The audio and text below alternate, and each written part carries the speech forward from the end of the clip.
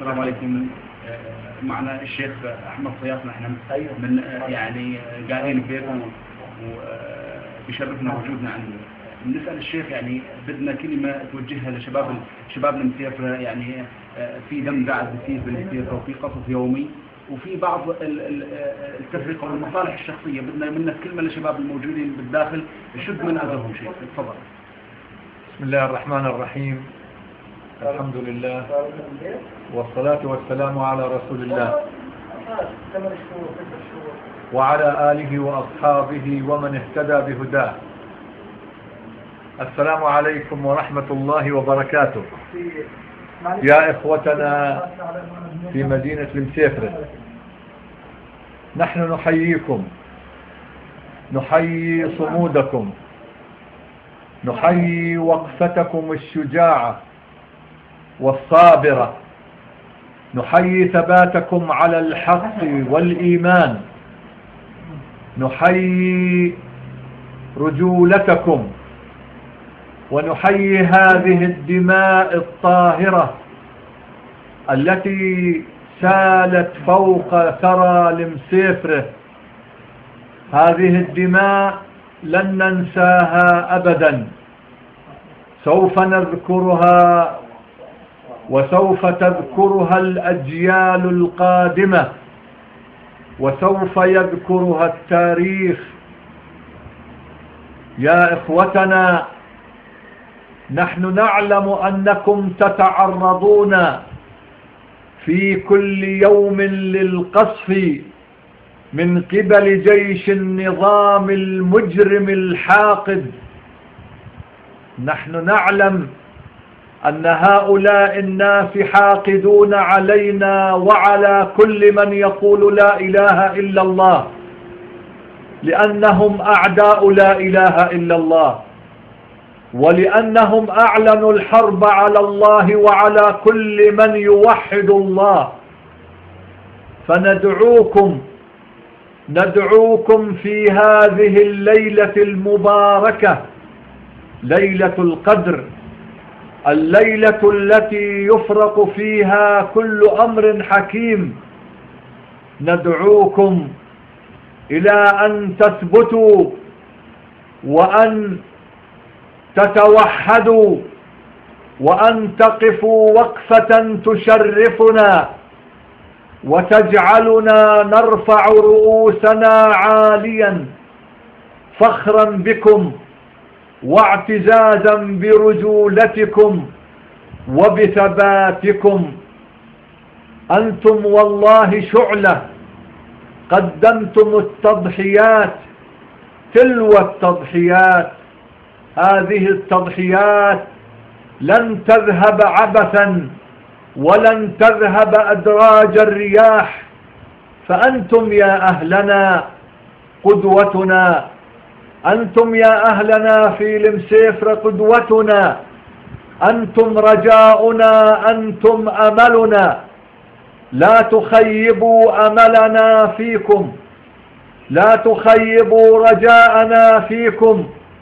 كلنا كل إنسان في حوران.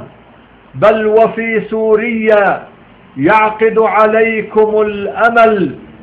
وهذه مسؤولية كبيرة وأمانة عظيمة تتحملونها أمام الله وأمام التاريخ فكونوا أهلا لهذه المسؤولية وكونوا أهلا لحمل هذه الأمانة هذه المسؤولية والأمانة.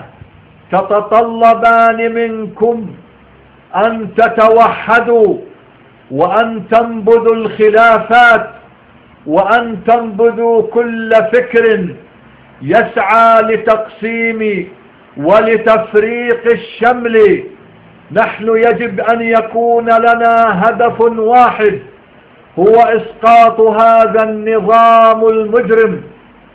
هذا الهدف لا يجوز أن يعلو فوقه أي هدف آخر.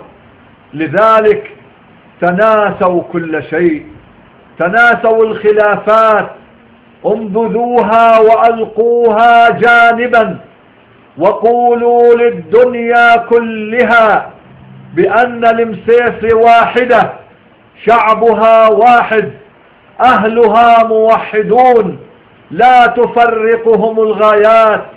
ولا الأغراض ولا المغانم ولا المكاسب كلنا نعمل لله كلنا نعمل لإعلاء كلمة الله كلنا نعمل لرفع راية الله ولدحر هذا المد الصفوي الذي يريد أن يتمدد في أرض الوطن العربي كالسرطان الخبيث.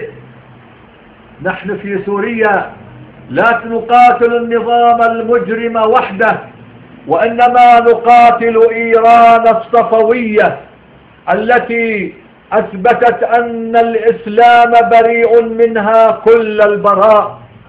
تدعي الإسلام وتقف إلى جانب نظام كافر نظام ملحد. كل من يقف مع النظام كل من يؤيد النظام ولو كان أكبر شيخ ولو كانت أكبر علمة فهو كافر وملحد مثل هذا النظام. نعم لأنه لو لم يكن في قلبه كفر وإلحاد لما تواطأ مع النظام. لا تستمعوا لأي شيخ مغرض لا تستمعوا لشيخ عميل ولا لمختار زنديق ولا لوجيه يتعاطف مع النظام.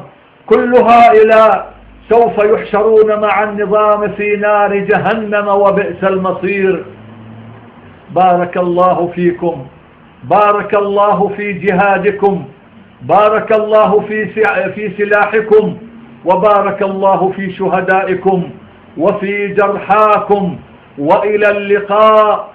في سوريا بعد أن يتهاوى نظام الأسد الحاقد المجرم. إلى اللقاء والسلام عليكم ورحمة الله وبركاته.